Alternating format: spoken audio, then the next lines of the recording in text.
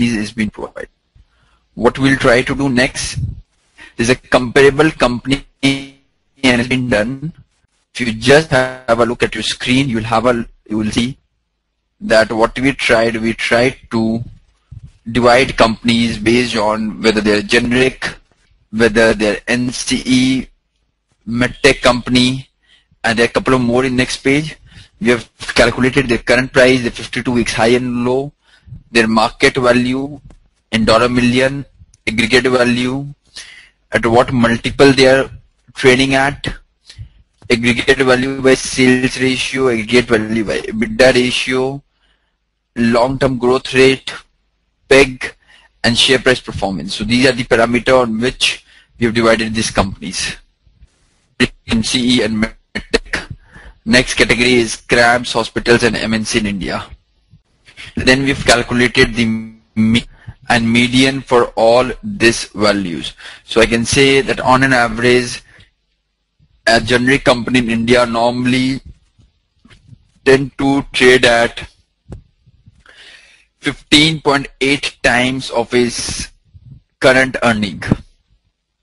This ratio is is uh, you know calculated in the year of recession, which has surely improved. So normally now any generic company normally trades at 20 times of his earning. That's the normal multiple at which it trades at. 10 minutes for any queries. Otherwise, we'll start with the next section, the Excel file, EUH Care Services Comps. That's the file we start with. Try to build a comps today, how to build a comps, try to learn that. And then tomorrow, the section will be entirely on financial modeling. So I'm giving you 5 to 10 minutes. Please have a look and let me know in case of any query. Students, please go through. Once you're really comfortable, then we'll move on to build up comparables for these companies. We'll try to build up comparables for these companies. That is, we'll try to learn how this sheet has been prepared. Called EUH Care Services Comps. See, this sheet has been created, organization you're working, there's some database like FactSet. But nevertheless, we'll try to create the sheet all by ourselves, okay, without using the database. So we'll come to a sheet, the sheet will come to, uh, here there's something called euro million, we'll replace this by dollar million, try to calculate figures in dollar. Uh, the date would be today's date, which is 15 October 2011. Here we would write generic companies. So that's the thing which we'll try to write here. We'll delete this portion. Dr. Reddy's, Glenmark, Dishman, Cadila Healthcare, Pfizer, India. Might be we'll, we'll skip Pfizer India because that's like Pfizer is more of an MNC company. We'll take Ranbaxy, we'll try to take Cipla, and we'll try to take Orchid Chemical. So those are the companies we'll try to take. So uh, year that has been provided here is 789, 789, 789, and so on. We'll change this year. We'll try to bring this current year.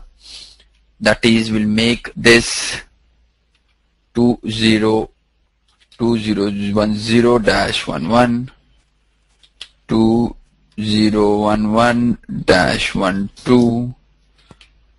2012 dash 13 and we'll copy paste this portion out here here growth rate from from 9 till 11 net debt for year 2011 okay so it's net debt by 2011 EBITDA.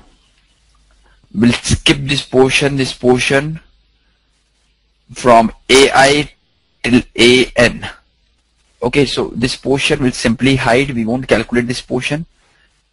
From AI till AU. We'll simply hide, we are not calculating this portion.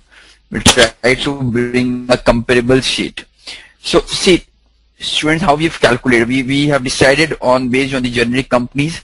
So I've included not a single MNC company like Novartis or GlaxoSmithKline or Pfizer because they, they are more of an MNC company having an office in India.